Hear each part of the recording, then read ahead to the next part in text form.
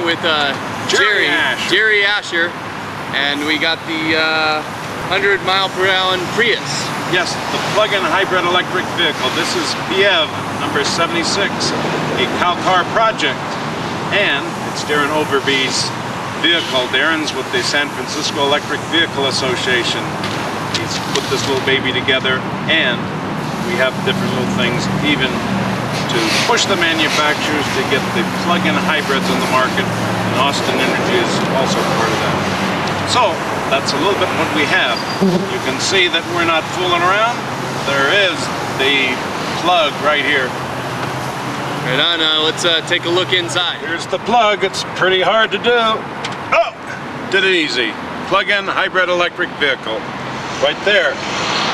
We can be pouring in gas at 3.50 a gallon, four, five, six dollars, or we can plug in for under a dollar. So maybe it's 75 cents. Could be like pennies a mile for hybrid electrics. And with a plug-in, you get lots more.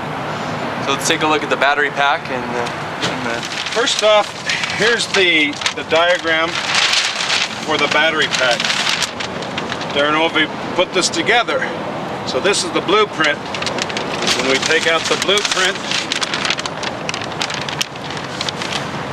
we now can show you just exactly 20 lead silicon batteries, an innovative battery type that's being looked at. And we haven't got our instrumentation set up for this vehicle yet, so we're not quite in the electric vehicle mode yet. But 20 batteries, battery box, There's the charger. this is the charger, and that may be repositioned a little bit. All these things supplement what's right under here, the lithium, the, uh, not lithium, but the nickel metal battery pack. That's the original Prius battery pack. Yeah, that's what stays in. And this is all the new retrofitted battery pack. This has all been retrofitted. Or actually, we might even not go retro because we haven't taken anything out. We're just using conversions. We've made this now a plug-in, so it means it's pure electric, hopefully for the 20 miles that you'll run around the city and then recharge and use that through the city. And then when you go on the open road, maybe you get your Prius 50 miles per gallon. When you add those figures together and divide by the gasoline, you're looking at getting 100 miles per gallon with electricity. And our electricity should be much more sustainable, easily controlled in one source. So this is the whole concept. Now, if you can look down, we have calcars.org website, and we have a do-it-yourself-milepergallon.com website that you can go ahead and go to. And these would be um, where you can see further documentation, photos, web blogging people like here in Reno who are coming out to see what this is. So let's look at the uh, inner uh, computer display. Okay?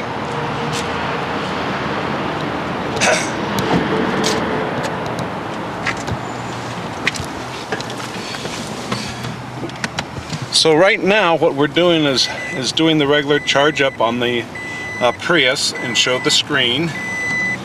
And right now you can see the screen. Yep. Okay, and the screen says, okay, we got two things. We can either show consumption, and the engine just kicked on, so we could see that it's charging the battery a little bit. Now we're going to go to the CAN view. That's the Computer Area Network view, this whole system here. And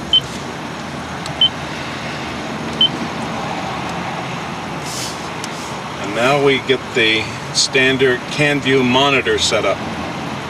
So we're going to go first to the maximum minimum reading and you can see some things will um, jump in and out as the engine is going. You can see the engine RPM down here it is 1325, 1225.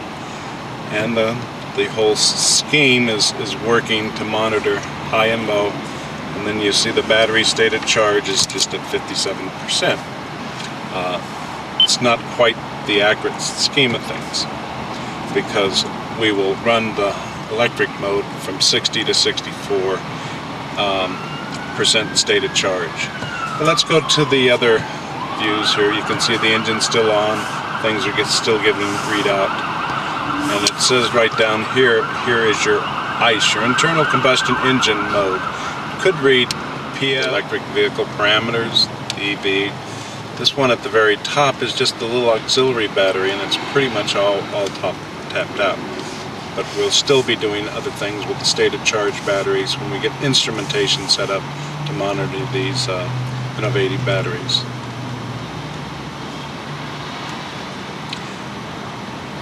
Now there was a uh, a little program or something you had to do to the computer because usually at 35 miles an hour Right. It kicks Well, on the This, engine. this is all the, the program that goes with it. Uh, CalCars and others can, can go ahead and give you the background on some of that. Right now we have on the screen an interesting little one that is kind of interesting to me, but it's in the data package, so somebody gets probably excited about all these numbers jumping.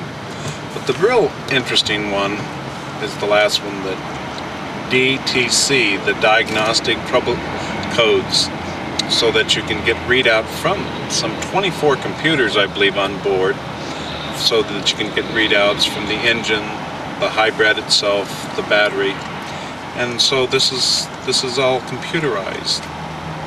And this, I think, makes the difference of what we call the CAN view, looking at the CAN bus, getting feedback from all these particular instruments. Pete, what we have here is the end. It's easy enough to pull out the plug once you're charged up. Yep. takes all of about five seconds. Well, maybe 10 if you're really using a lot of time. Once the vehicle is set to go, it gives you your all-electric range, let's say about 20 miles. Could be less if you're going up hills or whatever. And this is the idea, of the 100 mile per gallon, that you get all this in-town mileage Right. using hopefully a green source of electricity. Therefore you save the gas. yeah. Now, what I'm doing is working a bit for CalCars here as a volunteer, but also Austin Energy. Just the idea that we want to push the manufacturers to get these vehicles out on the market as soon as possible. Right. The battery technology should be there. So I've taken on myself to do this plug-in hybrid electric vehicle all around America, PF 3A.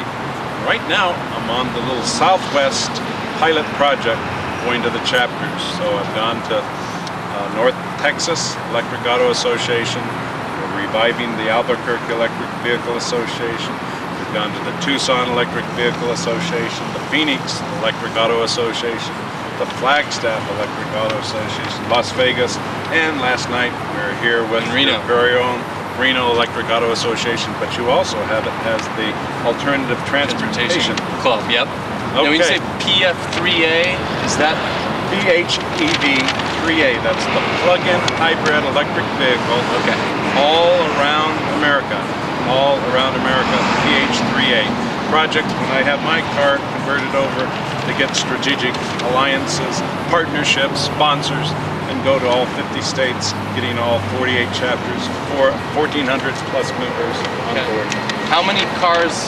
Is this a one of a kind, or is there has there been This is number Three? 76. This is 76. Kiev 76. Okay, so 76 of these have been done. Right. Okay.